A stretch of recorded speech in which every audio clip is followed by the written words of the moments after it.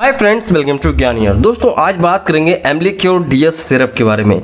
ये सिरप लेना चाहिए, नहीं लेना चाहिए? या लिप 52 डीएस से कैसे अच्छा है, क्या बुरा है? और ये क्यों दिया जाता है? सब कुछ जानेंगे इस वीडियो में। सब कुछ तो देखते रहिए। दोस्तों, यहाँ पर हम बात कर रहे हैं एमलिक्योर डीएस की। तो कुछ कंपनियाँ ब्रांड नेम्स उसी हिसाब से रखती हैं, जो कि उनकी कंपनी का नाम होता है। तो एम एल फार्मास्यूटिकल इसको बनाती है, ठीक है? और इसकी ड्रो स्ट्रेंथ आती है 100 एम और 200 टू हंड्रेड एम एल सौ और 200 एम एल में ये मिल जाता है। 100 एम एल आपको लगभग एक सौ सत्तर, एक सौ साठ रुपये मिल जाता है। और 200 एम एल आपको दो ढाई सौ रुपये में मिल जाता है। सो so, ये जो एक सिरप है ये बेसिकली हर्बल होता है मतलब कि इसमें कोई ज़्यादा एलोपैथिक नहीं है। सिर्फ़ हर्बल जड़ी बूटियों का इसमें एक्सट्रैक्ट होते हैं।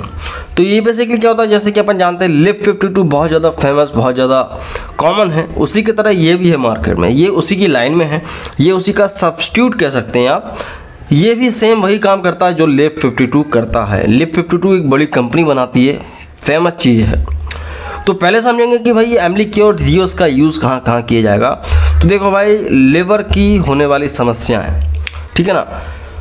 लेवर की समस्या कब होती है? जब कोई व्यक्ति लंबे लंबे समय तक शराब पीता है या लंबे लंबे समय तक एनसाइड ड्रग्स लेता है। मतलब कि non steroidal anti inflammatory drugs जो दर्द को, बुखार को कम करने की दवाइयों की आदत होती है लोगों की, कि वो खाते रहते हैं। उनको दर्द हुआ, उन्होंने दवाई खाई। तो जो पैरासीटामोल वगैरह ये सब होते हैं। ये लिवर को अफेक्ट करते हैं। लिवर की कैपेसिटी को कम करते हैं, ठीक है ना? लिवर के अंदर टॉक्सिन्स का काम करते हैं। तो लिवर को हेल्दी रखने के लिए इन लोगों को ये चलाया जाता है। जो लोग लंबे समय से दवाइयाँ खा रहे हैं, दर्द की, जो लोग लंबे समय से शराब पी रहे हैं तो इनको तो ये दिया ही जाता है, ठीक है? साथ ही डाइजेशन को इम्प्रूव करने के लिए, भूख को बढ़ाने के लिए, कई लोगों की ऐसी स्थिति हो जाती है, उनको भूख नहीं लगती है, खाना खाते हैं तो पचता नहीं है तो ये सब कुछ कवर करता है, ठीक है? और लेवर को हेल्दी रखने के लिए लेवर शरोसिस हेपेटाइटिस और ज्वाइंटिस ये तीनों समस्याएँ लिवर की हैं। आदमी को पीलिया हो जाए हेपेटाइटिस एक वायरल इन्फेक्शन होता है और सिरोसिस जिसमें लिवर सिकुड़ने लगता है, ठीक है ना? तो ये सारी समस्याओं में इसको चलाया जाता है, लंबे समय तक चलाया जाता है, तब जाकर कहीं इसका रिज़ल्ट देखने को मिलता है। सेम जो इंडिकेशन मैंने बताया आपको, ये आप लिप फिट टू के लिए भी कह सकते हैं, ठीक है? तो ये है, बात करेंगे दोस्तों इसके कंपोजिशन की तो कंपोजिशन में इसका वही कुछ जड़ी बूटियाँ जैसे कि चित्रक भ्रंगराज और नीम, गोखरू एस्टुमधि आंवला, हरिताकी अर्जुना, ये सब इसके अंदर कंपोजिशन होता है। ठीक है, सारा हर्बल है, कोई भी व्यक्ति ले सकता है, कोई साइड इफ़ेक्ट नहीं देता है।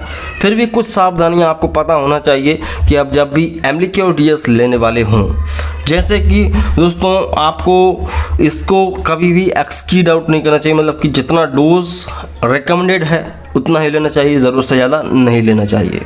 छोटे बच्चों की मौत से दूर रखना चाहिए, क्योंकि छोटे बच्चों के लिए ये होता है, लेकिन उनको पता नहीं चलेगा, इसका एक्स की डोज ले सकती हैं वो, ठीक है ना? ज़्यादा मात्रा में ले सकते हैं। तो छोटे बच्चों से दूर रखें। गर्भवती महिलाएँ डॉक्टर की सलाह से लें और इलेक्ट्रिशियन मदर्स जो बच्चे को दूध पिलाती हैं, महिलाएँ, वो ले सकती हैं, कोई दिक्कत नहीं।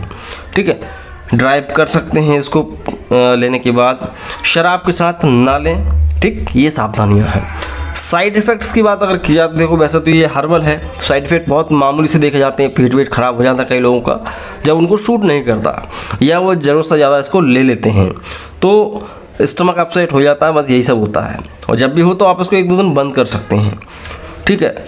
काम कितने दिन में उसको कितने दिनों में करेगा? देखो, लगभग लगभग एक महीना या दो महीना आप मान के चलो, आपको रिजल्ट्स देखने में इतना टाइम लगेगा, एक से दो महीना तो आपको इसको लेना ही पड़ेगा। वैसे भी कंपनी बोलती है दो से तीन महीने का इसको आपको कोर्स करना पड़ेगा। ठीक है? डोज समझ लेते हैं। खाना खाने के बाद भी ले सकते हो, खाना खाने के पहले भी ले सकते हो। कोई फ़र्क नहीं पड़ता। बाकी आपको कोशिश करना चाहिए खाना करवाने खाना खाने के बाद लो तो ज़्यादा बेहतर है। ठीक है? छोटे बच्चे होते हैं जो उनके लिए आप आधी चम्मच सुबह शाम दे सकते हैं।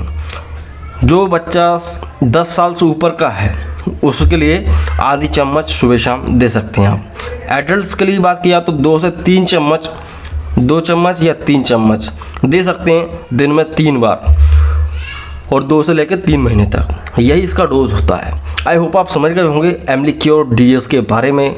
वीडियो अच्छा लगा तो लाइक कर सकते हैं चैनल चैनल को सब्सक्राइब कर सकते हैं। ऐसे ही इंटरेस्टिंग मेडिकल वीडियोस देखने के लिए। आप देख रहे थे ज्ञानी द मेडिकल चैनल मैं हूँ शिवम तो मैं मिलता हूँ आपसे अगले वीडियो में। जय हिंद बंदे मातरम।